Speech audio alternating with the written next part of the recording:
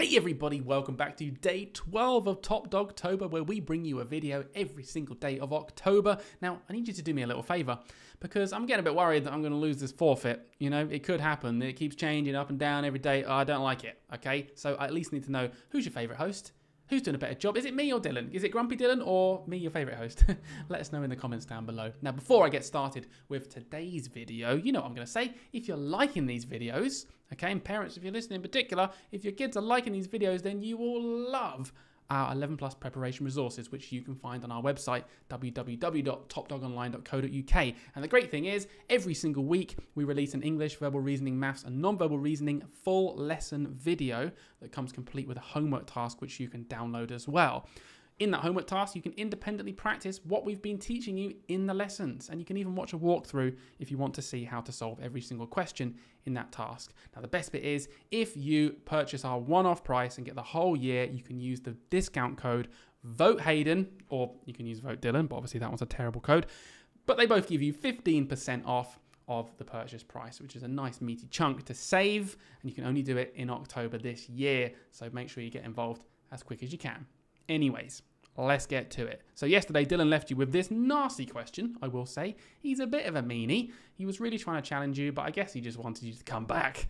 You get it, us YouTubers, that's what we want. So here's the answer. The, um, the top option was the better, was the best option. Taking 176 pounds and then half again the next day, half of 176 being 88, it adds up to a little bit more than starting with 85 and doubling it the next day and taking that on as well. Okay, nice little trick there would be knowing that when you double 85 and get 170, as soon as you notice that that's lower than 176, then by definition you know it's actually going to be a worse option if you think about it. Anyway, on to today's one. So, we've got some riddles. Now, I'm looking a bit confused because I told you that Dylan's added something uh, sneaky to these lessons, right? Um, he's added this bottom riddle, and I've not seen this before. I'm reading it right now. I'm a bit worried. So let's let's look at these riddles. Now, you're probably used to this kind of thing, right? You're thinking riddles, yeah, like what tastes better than it smells? Do you know the answer? Do you know the answer to this? Well, I'll reveal it to you right now. A tongue.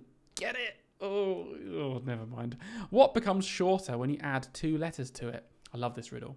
This is a good one. Short. ER. You add ER, it makes it shorter. No? Not okay. Last one and this is something Dylan's put in. A man goes out in heavy rain with nothing to protect him from it. His hair doesn't get wet. How? Hmm. I don't know the answer to this one. His hair doesn't get wet, but he's in the rain. I don't know. Uh, he is bald. Hey! And he's put a picture of me. Brilliant. Well, let's get him back, guys. Make sure you watch this video way more than you watch his so that I get those thousands of views racking up and he has to do the forfeit. That would be nice, wouldn't it? Moving on, that's not the kind of riddles you'll see in the test. These are the kind of riddles that you'll see in the test. Actual verbal reasoning riddles, not just ones for fun. Now, these riddles take a little bit more brain power to solve because there's often a bit more information. So I'm going to read this one through with you and show you my strategies on solving riddles. Okay, so first of all, this little bit of space here is, is like a holy space. We want to keep that because we want to take jottings as we do these questions. But the first time, I always just read it through once. Five classmates have a times table competition to see who can answer the most in 60 seconds. Florence scored less than Mikey, Oscar scored higher than River, Penelope and Florence scored the same, and Oscar got the second highest score. Who got the highest score?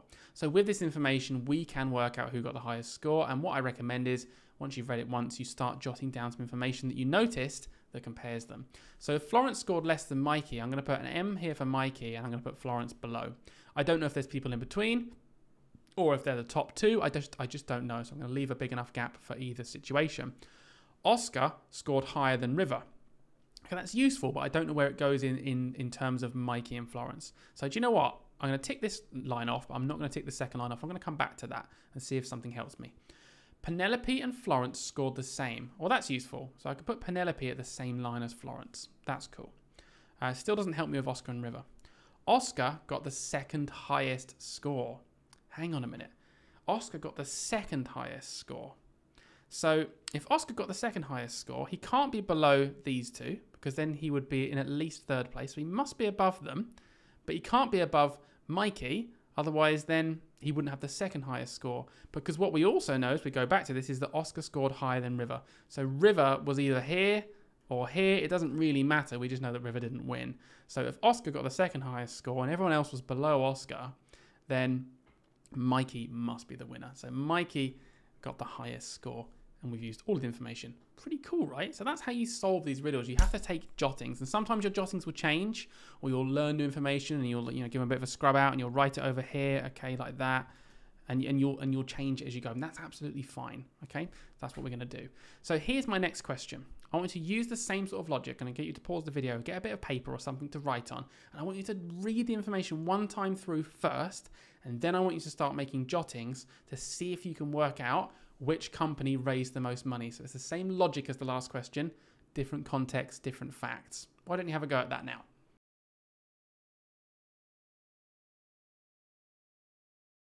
Right, let's do this. Five companies raise money for charity. Okay, here's our five companies.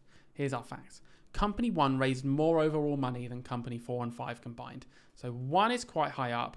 Four and five, we don't know their order, but we know they're down here somewhere. So this is probably going to change when I get more information. We just know that they're down here.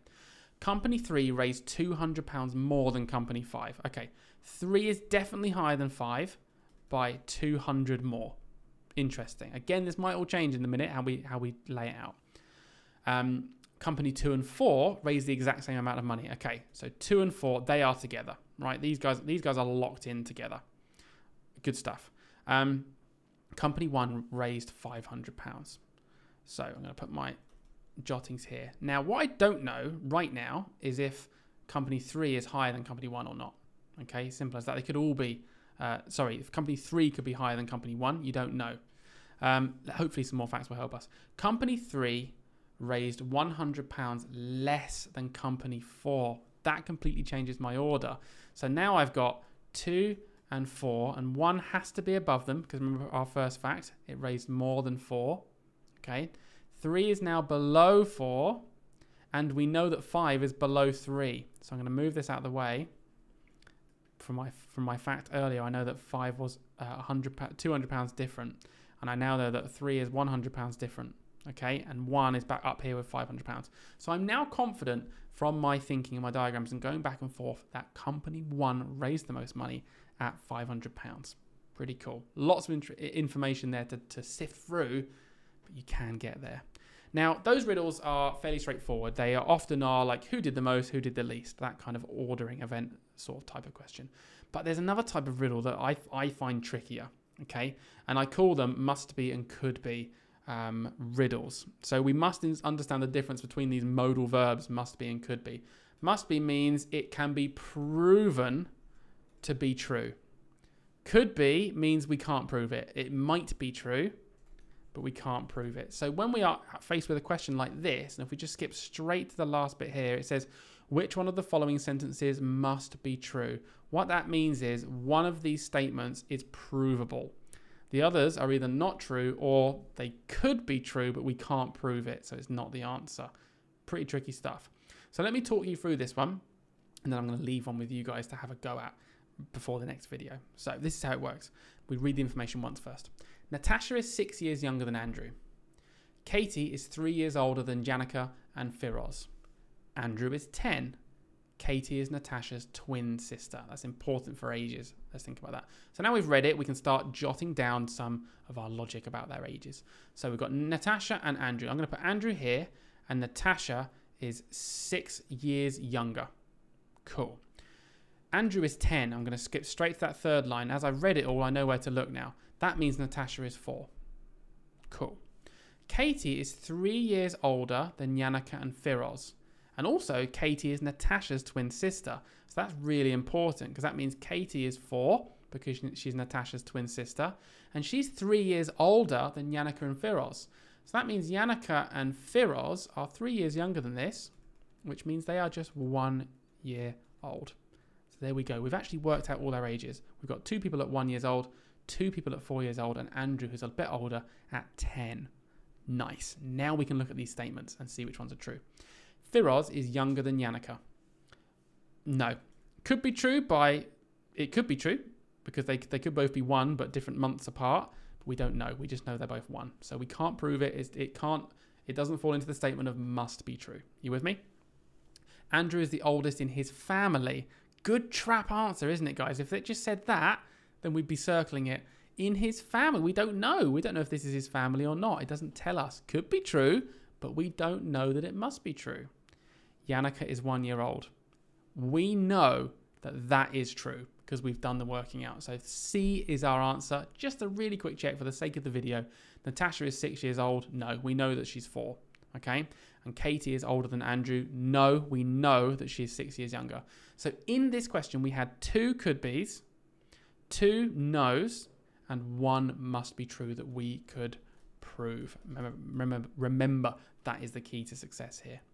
All right. Okay, guys, I'm going to leave you with this question. You can get the answer in tomorrow's video, but use my advice. Which of the following sentences must be true based on the information above? Don't forget to use your pen to take some jottings. Guys, thank you for joining me. Check out the community tab in our YouTube channel to see the running updates. We update it as much as we can on who is winning uh, and who is likely to be doing the forfeit. Guys, have a great day. We'll see you tomorrow for day 13.